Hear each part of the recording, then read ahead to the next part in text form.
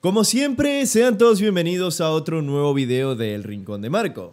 En esta ocasión estaremos hablando de algunas curiosidades que seguro no sabías sobre nuestros orejudos favoritos en la galaxia, los enigmáticos Eldars.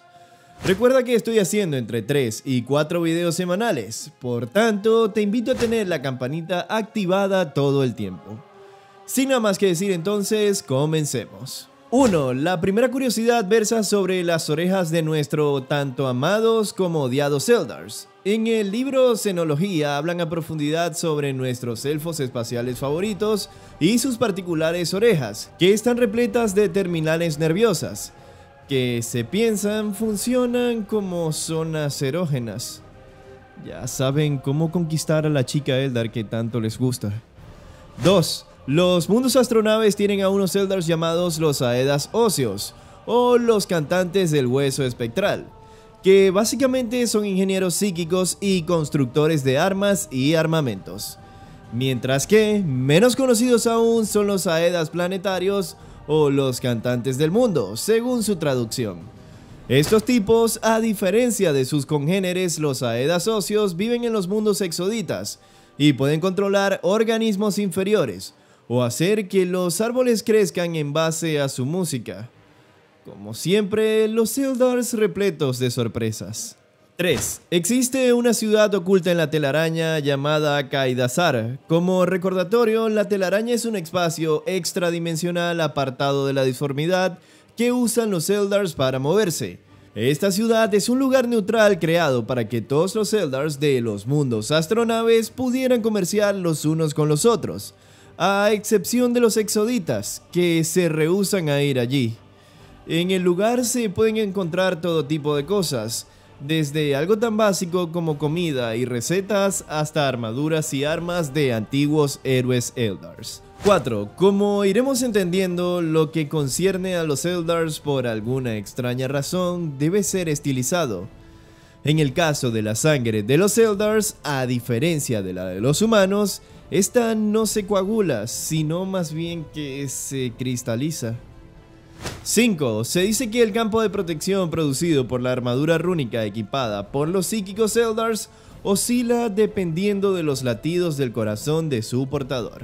6. Los señores Fénix fueron los individuos Eldars que fundaron originalmente los templos especialistas donde los diferentes tipos de sendas Eldars y la vida de Kane son estudiados no tienen un mundo astronave hogar, sino que viajan enseñando todo lo que saben a los Eldars más jóvenes, fundando pequeños santuarios en cada mundo astronave que visitan. Como dato adicional, cuando un señor Fénix es asesinado, otro Eldar toma su identidad y su nombre. 7. Maugan Ra y Baharroth son mejores amigos. Son tan cercanos, de hecho, que pareciera que fuesen familia. Como dato, Maugan Ra es el señor Fénix de los segadores siniestros de los Eldars, y Baharroth el señor de los halcones cazadores. Es gracioso porque Baharroth es bastante joven e impetuoso, mientras que Maugan Ra es el oscuro y genial cosechador de almas. Además, estos dos señores Fénix nunca han muerto ni revivido, por lo que son uno de los individuos más viejos de toda la galaxia. 8. Otra de las cosas susurradas a menudo entre los Eldars es que los videntes se cristalizan. Y los más viejos y antiguos de los videntes harán esto en un bosque especial dentro del mundo astronave, donde se convertirán en árboles de cristal. Insisto, los Eldars son muy raros. 9. Segorach es conocido en la religión Eldar como el dios que ríe, es uno de los dioses más poderosos de los Eldars y la figura central de la creencia de los arlequines. Segorach es la única autoridad que los arlequines reconocen y además uno de los tres únicos dioses que sobrevivieron a la caída de los Eldars después del nacimiento de Slanesh. 10. De entre las tantas tropas del dios que ríe, ningunos más enigmáticos y misteriosos que los solitarios. Estos guerreros, para empezar, condenan sus almas para representar el papel de Slanesh en sus obras.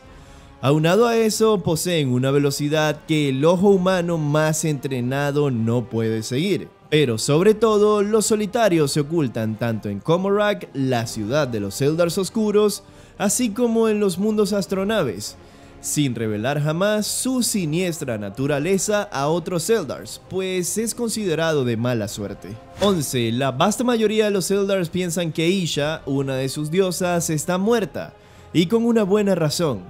Slanesh la secuestró cuando el panteón Eldar cayó, y casi todos los Eldars desconocen que Nurgle luchó una dura y larga guerra contra Slanesh para reclamar a Isha y tenerla como sujeto de pruebas de sus enfermedades. 12. En el mismo orden de ideas que el anterior, solo un mundo astronave sabe que Isha está con vida, y ese mundo astronave es Luganath. Sus videntes hicieron un viaje astral al reino de Nurgle, en una misión de infiltración para hacer contacto con su diosa. Allí fueron reclamados por Nurgle y sus almas fueron tomadas y convertidas en árboles de putrefacción antes de que pudieran hacer el tan ansiado contacto. 13. Aunque parecidos, los Eldars difieren mucho de un humano. Demasiado diría yo. Si bien sienten alegría, odio, tristeza y miedo, lo experimentan a niveles que un humano no podría comprender ni sentir jamás. Esto es porque un Eldar puede experimentar las emociones con cuatro veces más intensidad que un humano. Como dato adicional, los Eldar son mucho más inteligentes que los humanos.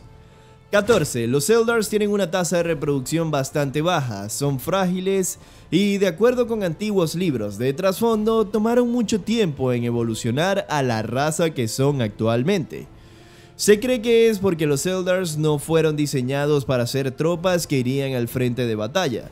Para eso, de hecho, estaban sus dioses.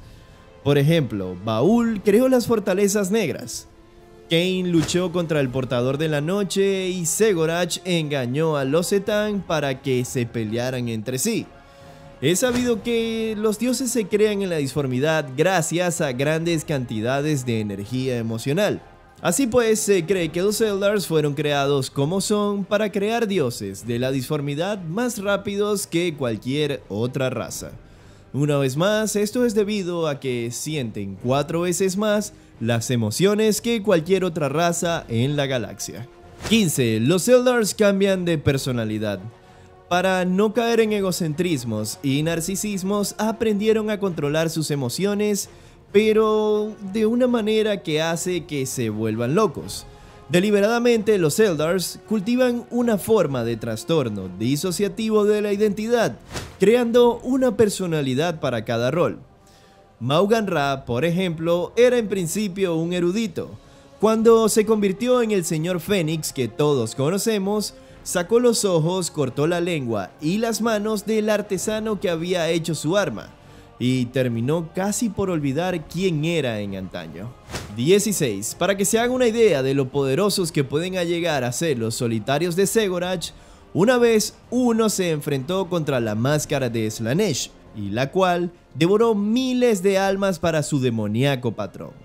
El solitario de los arlequines pudo imitar los pasos de la máscara durante seis días y seis noches, hasta que la máscara finalmente se equivocó y fue desterrada a la disformidad, lo cual ocasionó que Slanesh la dejase de ver como su favorita. 17. La senda del soñador es la más extraña de todas las sendas de los Eldars.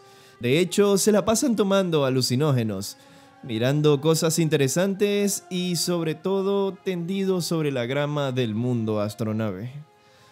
18. Los arlequines, además, son los únicos capaces de llevarse bien con las tres facciones de los Eldars.